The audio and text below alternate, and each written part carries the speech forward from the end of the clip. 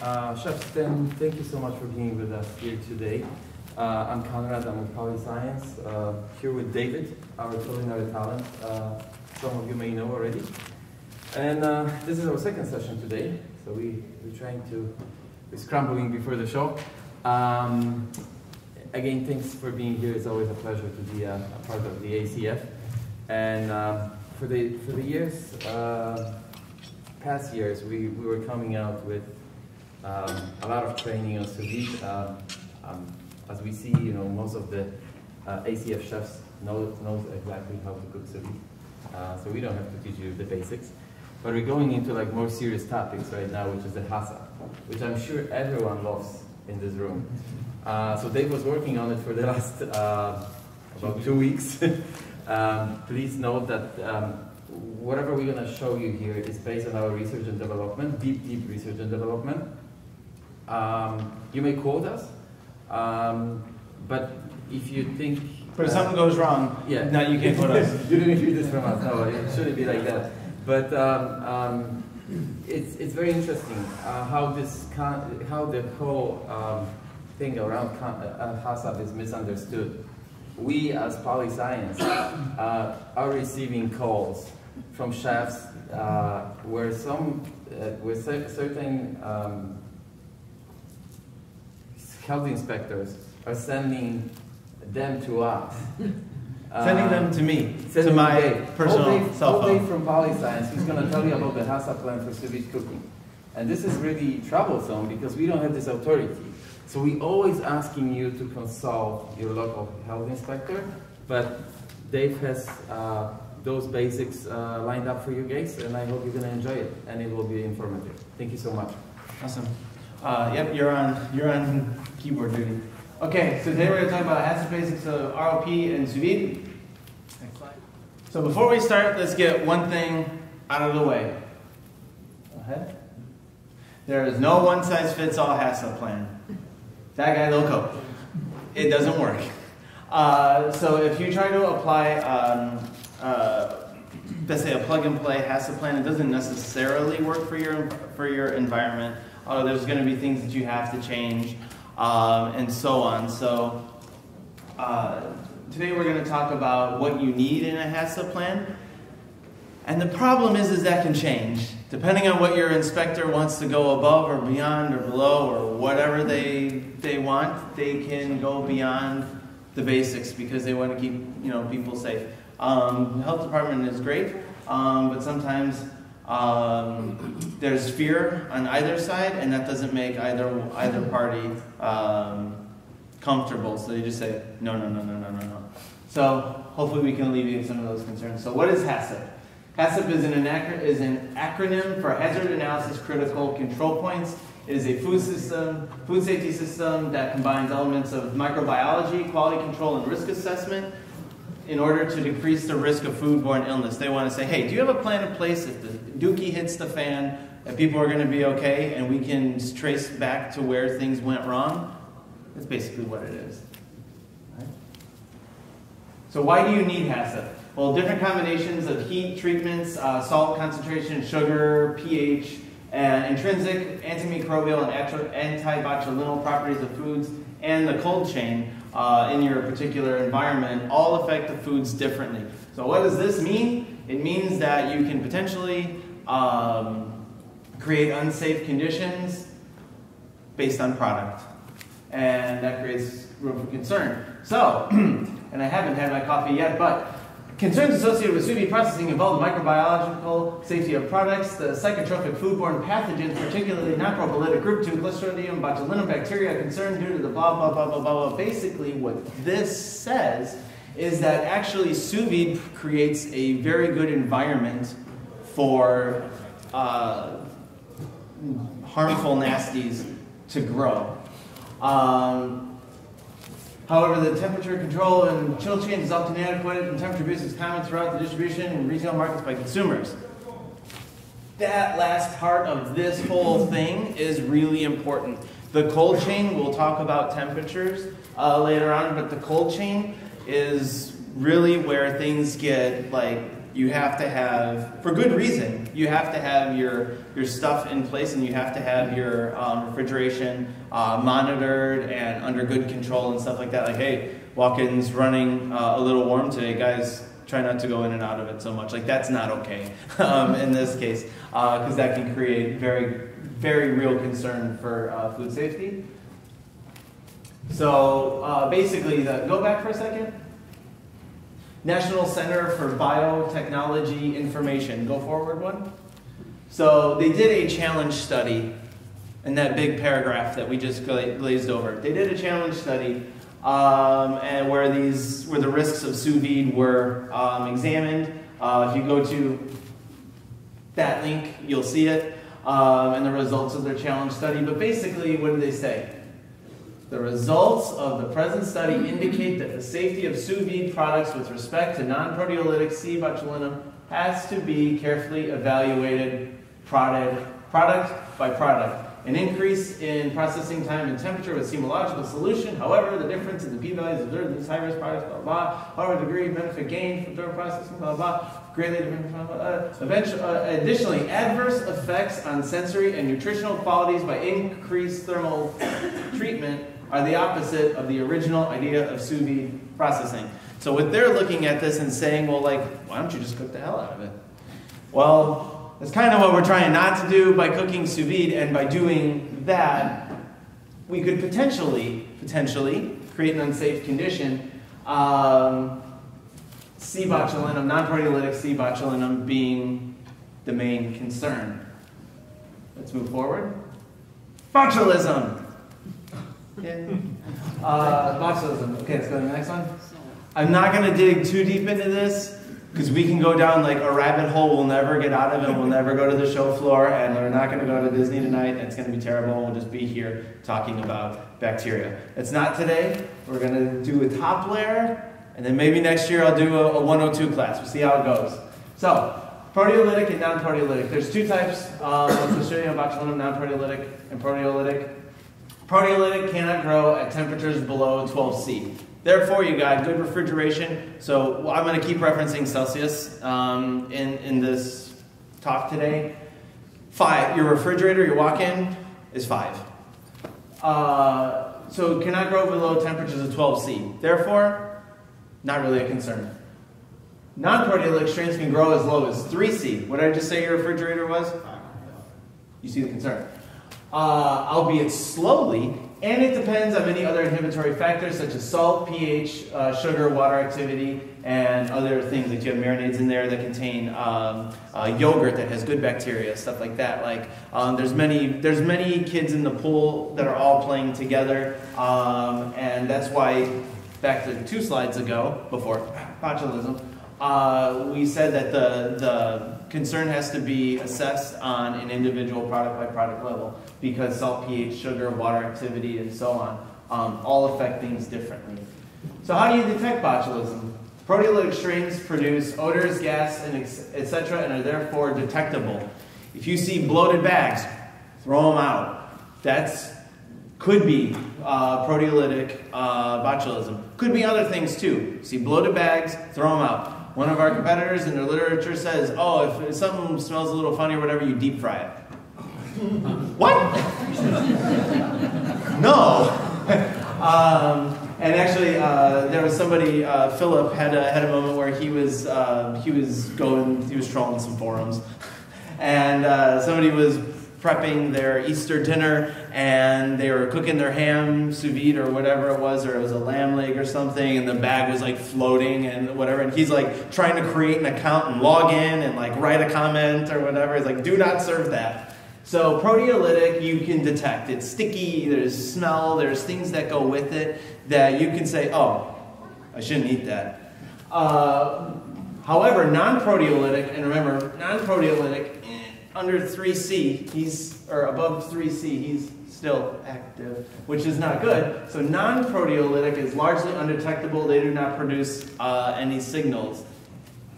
Danger, Will Robinson, danger, okay? Um, let's talk about the spores. Clostridium botulinum bacteria produce spores that are inert. They will become active or regenerate after being heat damaged and can reproduce toxin again if conditions are right. Protein source, anaerobic environment, low acid, low salt, low sugar, ambient temperatures, sous vide conditions.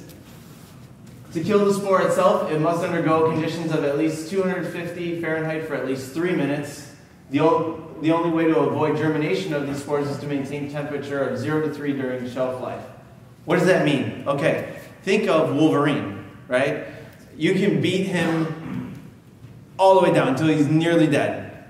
He's coming back right? That's botulism. You can heat damage it, you can pummel it into submission, you ain't gonna kill it. It's coming back. And then it can, it can start producing spores again. Even if you killed the spores that it produced, it can make new spores.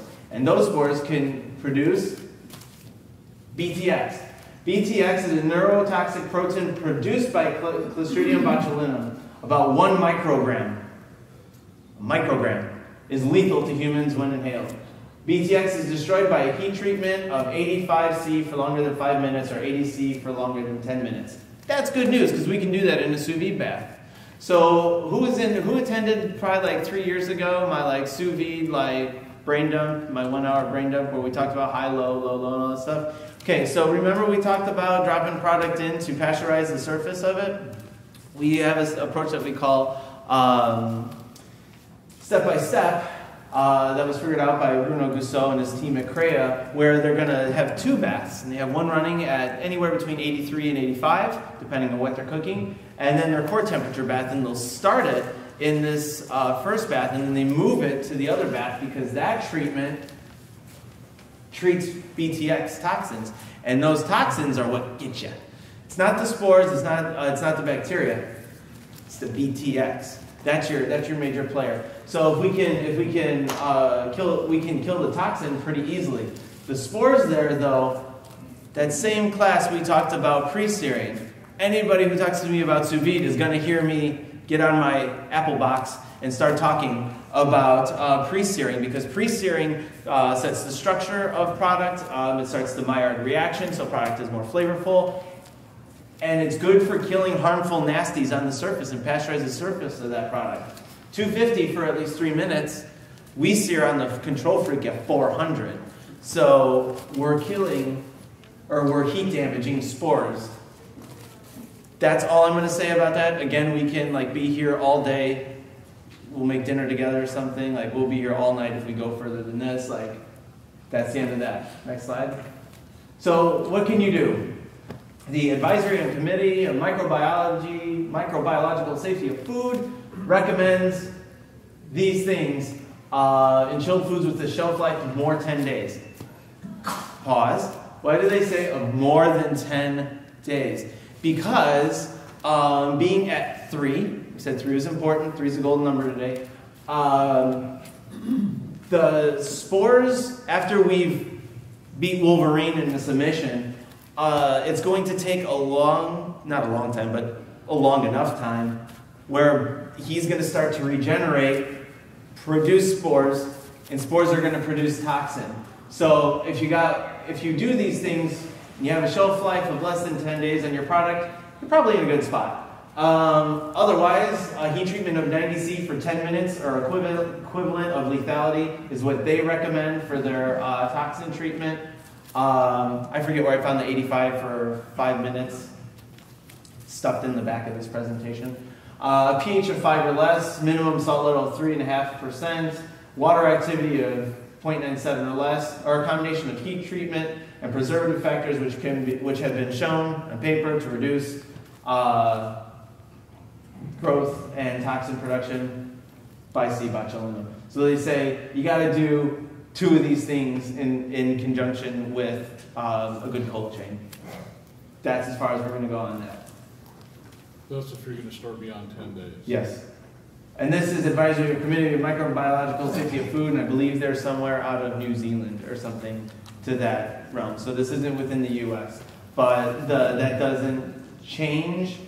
That's another thing. Is like your regulatory body can say like, well, that's not our document or whatever. That doesn't change the science of what's happening. It just means that it hasn't slid across their desk yet. And that's all I'm going to say about that, because I'm going to get in trouble. Uh, but there's good news. So, uh, in a document that I found from the Food, uh, Food Authority of New South Wales in Australia, as far as can be determined from any scientific literature and foodborne illness databases, sous chefs have been, been successful in managing food safety and food poisoning attributed to sous vide has not been identified. There is not one recorded case uh, with sous vide directly linked to foodborne illness. In Australia. No, in any database across the globe. That's all I'm going to say about that. That was a lot to take in. Let's just take a moment. I got the relaxed puppy. I thought he was cute. Okay, so uh, before we talk about uh, the seven HACCP principles, uh, the ins and outs of a HACCP plan, we need to speak the same language. Okay, so a hazard is defined as a biological, physical, or chemical property that may cause a food to be unsafe for consumption. Norovirus, poor quality packaging. So let's see an example of a biological hazard is norovirus. Later we're going to talk about the HACCP worksheet, hazard analysis worksheet. Potential hazard that goes in the biological column, norovirus. right? Um, that's always present. Um, but then there's um, physical hazards. Uh, when I received my beef today, uh, there was milk leaking on it because it came from the same truck and a milk gallon leaked, and that's a potential uh, biological and potential uh, physical, or potential physical, that is a physical and a potential biological hazard. Uh, critical control point. This is an operational step in your process where you can apply control and either prevent or reduce the hazard to an acceptable level. I'm going to do this thing at this step, which ensures that my risk is very low, if not gone. Critical limit are these prescribed parameters that are in place to ensure that a CCP, a critical control point, effectively controls a hazard. And this is something that's measured. I know this is confusing. You'll see relaxed puppy again. Um, an operational step is an activity in the flow of food. Receiving, packaging, cooking, cooling, these are steps. And there's usually like, I don't want to say that there's usually like, I want to say that you can put these in a chart. It comes to my door, I check it in, it goes into a cooler, it goes from the cooler to the prep station, it gets prepped, it goes back into the cooler. These are like steps that happen uh, and corrective action. This is something that needs to take place when results of monitoring show that a control has been lost at a CCP. So, example of a corrective action if my food falls below 135, the food will be reheated to 165 for 15 seconds, and I will record this corrective action. Let's go to the next one. Monitoring. So, we just said monitoring uh, is this step where we're measuring our critical limits to make sure that we're hitting them. Uh, the sous chef will check product temperature to ensure that the appropriate core temperature before packaging. This is just an example of one. Uh, my monitoring step for cooking chicken breast. Line cook will probe chicken when it is done to ensure that the core is 165. That's monitoring. Verification activities is making sure that your car is running like a well-oiled machine. This is ensuring that monitoring and the HACCP plan are everything is working. At the end of the night, I'm to have my glass of bourbon and go over my temperature logs and all my corrective action logs and everything and make sure that everything is happening as it should. And record keeping. I got my temp- I've got my cooler logs, I've got my probe logs, I've got all my this, and I'm to keep those on the place when our clipboard and thermometer friends walk through the door and I say, "Here you go. I have all these for one year. There you go. Uh, process flow is the flow of food through your process, starting with receiving, and it goes through, the food is served. And then we have our standard operating procedures. This is a written method of a controlled practice in accordance with specifications to obtain a desired outcome. What? Standard operating procedure this is our hand washing procedure. This is our written procedure for how we sanitize our table. This is how we clean equipment. This is how we calibrate our probes. Uh, you're going to need um, quite a few SOPs when you hand in your um, when you hand in your HACCP plan because some hazards are not handled at critical control points by critical limits. What? So, that's a chew, right? This can happen anywhere, and that's not handled by cooking, cooling, whatever. This is addressed with our employee hygiene standard operating procedure. If you wash your hands before you touch the product, if you sneeze, you wash your hands again, and stuff like that. So sometimes SOPs control, uh, apply control at CCPs. It's okay, we're, we're getting there. Next one. See, relax, puppy. Okay? Let's move on. The seven principles of HACCP. We have hazard analysis, CCPs, critical limits, our monitoring, our corrective actions, our verification, and our record keeping. Let's move on. Okay. So these are the seven principles. So first we're going to analyze hazards. We're going to say what hazards exist at an operational step. Some of them are addressed through SOPs. So at the beginning of your HACCP plan, you just have to keep that in mind that I need to have some standardized operating procedures in hand or on hand to mitigate hazards. CCPs. Working through our process flow, which we'll get to, uh, will identify operational steps where control can be applied. Again, these I try to look at as like steps in the process. I'm receiving product, it goes into cold holding, it goes into prep, it goes back into cold holding. It goes in into vacuum packaging, it gets cooked and held, and then it gets served. That's my process flow. And at these points, I can establish critical limits. So my critical limit for my CCP cooking, my chicken has a critical limit of 165 for 15 seconds. In this case, if we're cooking sous vide, we're doing it lower whatever, I'm going to hold it at, my critical limit might be uh, 149 for two hours, whatever that is. And then those critical limits have to be monitored to make sure that we hit it. Line cook will take temperature of finished chicken with calibrated thermometer, ensure critical limit has been reached. So you see, it's kind of like a ladder. We see these are my hazards that exist throughout my process. Here's my process written out. At these steps, I've got critical limits, things that need to be hit to make sure we're safe and we can we can pass go. We can collect a hundred bucks. We can go to the next step and then we've got monitoring to make sure that critical limit is happening. Um, and then we have corrective actions.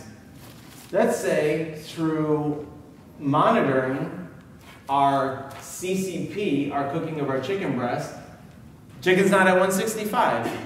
So what's our corrective action? Keep cooking it until it hits 165. Like some of this stuff, like it sounds complex, but really it's like the inverse of your critical limit. If you didn't do it, do it.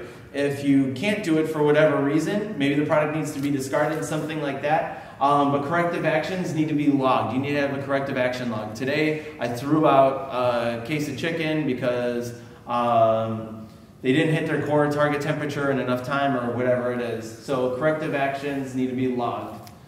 Um, and then verification activity. Manager will take bourbon into office and review temperature logs and procedures daily. So he's going to sit there and go through all the logs and say, it looks like we're having a problem uh, at vacuum packaging. It says that we a bunch of bags leaked.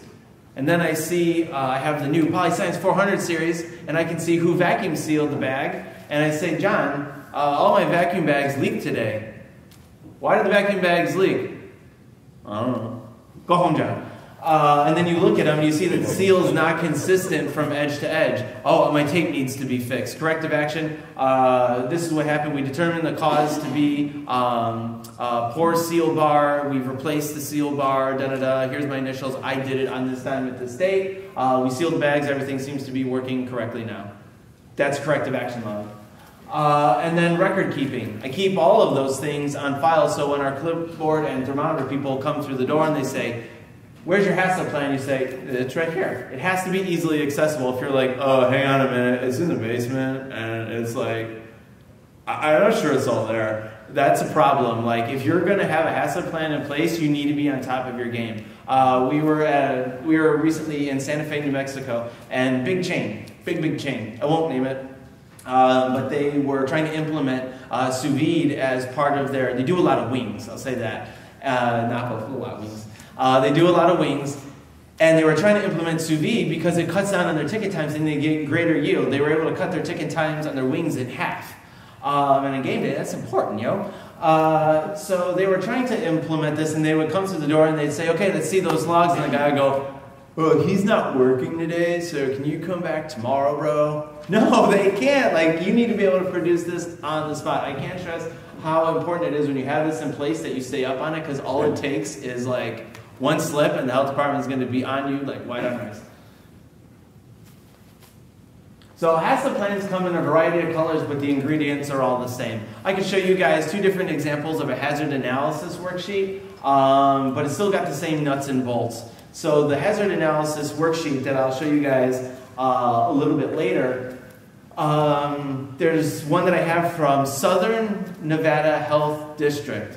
Write that down. Southern Nevada Health District. They have an amazing uh, sample HACCP plan uh, on their site. Now, the way that um, the HACCP portal that we're going to use as the basis for our plan, um, the way that it does a hazard analysis worksheet, I don't particularly like because it asks you to put your um, your hazards in each CCP. They say, hey, give me all of your potential hazards, and if they overlap, that's fine. I like that one. Uh, that one's a little bit easier, but we still have an, a hazard analysis in each place, and for each one, I'm still I'm still writing out what my critical control points are uh, and my, what my potential physical, biological, uh, and chemical hazards are. So, lots of colors. Ingredients are the same. Okay. Repeat the name that you just mentioned, Southern what? Southern Nevada Health District. And I tried to pull some examples for you guys of some of their um, their cooking logs and stuff like that. 404, page cannot be found. Sorry. Really? Because when you ask me for it, I'm going to say page cannot be found. Uh, so, yeah. So the HACCP plan, what does it contain? Like, what's the big scary 40 page beast that you got to have in your kitchen? Uh, it's not that bad. Uh, I studied this for studied this stuff backwards and forwards about for about a month, and within like a couple days, I had it down pat, and then it was just reaffirming what I was learning and stuff like that. It can be learned. This stuff is not as scary as it seems, and I'm start. I'll be starting to sound like a broken record. You'll see. Assessment information. So this is list of foods and ingredients involved in the process. Uh, what's in your chicken? Uh, I got garlic, I got thyme, I got oil, I got salt, um, I got a little bit of white wine. Uh, defining the process. This is a sous vide process. This isn't cook chill ROP. This isn't just ROP. So let's say uh, cook chill. I make my chili. Uh, I use a tilt skillet. I've got beans, meat, uh, salt, paprika. I mean, you got to go down to every little detail. But then I chill it and then I vacuum package it. That's cook chill. And then RLP is I get this into the door and I vacuum package my coffee beans because they stay fresh. That's RLP. And then sous vide is I'm going to apply heat to this thing while it's in the bag. Uh, defining equipment. The best thing that you can do for yourself if you have a HACCP plan in place is get yourself a stainless steel table, put your sous vide baths there and your vacuum machine there, and don't move them. Uh, the reason for that is because you have to define what equipment is in play for each for each product. So for my chicken breast, for my sandwich, I have a stainless table, I have uh, Polyscience Chef Series, I have a polycarbonate tank, I have a lid, I have got a cutting board, I've got a chef knife. All this, you have to list this, and it sucks, but you have to do it once. So there's the saving grace. Um, but the stuff that's on this table, it never changes. So this can kind of become just like you can swap it out for product for for different uh, ingredients and stuff like that. For I do the chicken here, I do the steak here, I do the whatever here. The equipment is roughly the same. So put it in one place and don't move it. Um, in your facility information, Polyscience is located at 19400 Southwestern Avenue, Torrance, California, 90501. Uh, facility information, who manages it? Dave Petranzik is the manager of the HACCP plan at this location. Um, when he's not on duty, it's this person. He can be reached at this number, just, just in case. This is also his email. All of your facility information. Uh, where's your product going to be sold? I run a restaurant. It's going to be sold at the restaurant, at this address. Because a lot of concern when we looked back historically at, at ROP packaging, it was I'm going to package this and sell it to somebody so they can put it on a shelf for three weeks and then put a sell by or put a you know discount on it uh, when it's ready to die. So applying this to a restaurant, they weren't so happy about that. Um, but for most cases, you say it's going to be sold at the restaurant. It's going to be sold on site.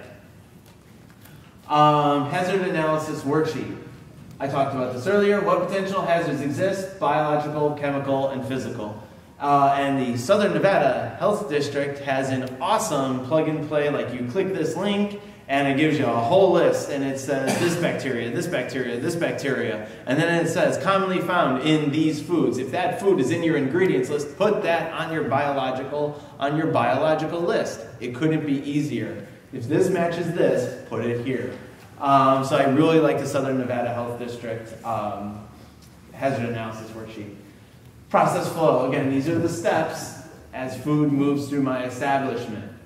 Uh, then we've got our HACCP worksheet. So from our process flow, we're going to identify our seven principles of HACCP. I've got my hazard analysis, my critical control points, critical limits, monitoring, verification, my record keeping. And this goes into a big grid looking thing. You all seen it and you're like, what the heck am I looking at? That's what you're looking at. You've got your process flow along one side, and that's where your CCPs are going to be. And then you've got your critical limits. What am I doing to control them? Then how am I monitoring those? How am I verifying that monitoring? And then record keeping. In the record keeping column, you usually put records will be held on site for one year. That one's easy to fill out. And then SOP documentation. So I said earlier, some hazards are not controlled at CCPs by uh, critical limits. They're handled by SOPs. So norovirus is managed by employee hygiene and hand washing. SOPs are created for hygiene and hand washing. Other examples uh, include this is how we receive product. This is how we calibrate a thermometer. This is how I'm going to train my employees. When they come in, uh, they're going to receive this, this, and this document. They're going to be initialed in this by, the, by them and myself. Um, we're going to keep all of our employee training logs in this. They'll also be handed uh, a HACCP vocabulary sheet. Um, this person, he's going to manage, he's running the fish station. So he'll be the only one vacuum packaging. He gets a how to vacuum product, um, standardized operating procedure. You get the idea. And then logs, log everything. They want to see logs. Log everything that you can. Uh, especially if it's got temperature, log it. Uh, and there's now, now it's a lot easier because for the longest time it was, okay, it's this, this o'clock. Hold on, fish delivery. Okay, what's, that, what's the temperature of this? What's the temperature of the low boy? What's the temperature of this? Now there's so much plug and play digital solutions in place. Just buy one. Uh, they stick a thing in your in your walk-in, and stick a thing in your low boy, and it just logs it all day long, prints it out for you at the end of the day. If you got to have HACCP in place, do yourself a favor and buy one. Um, you can get automated logging for all your refrigeration and stuff. Um, they even have some systems where you can receive your, you have your receiving products. You can create your own logs within it and stuff like that, and it'll all keep them digitally. So there's there's new solutions. So the logging isn't really so much of a hassle anymore. Um, and some places, I might ask you for a waiver. I for a special process, smoking, curing, uh, sous vide cooking, just ROP in general. They may fill, ask you to fill out a waiver, um, and you have to hand that in too. So you hand them all these things, and hopefully they give you a green light. So next slide. Let's build a HACCP plan.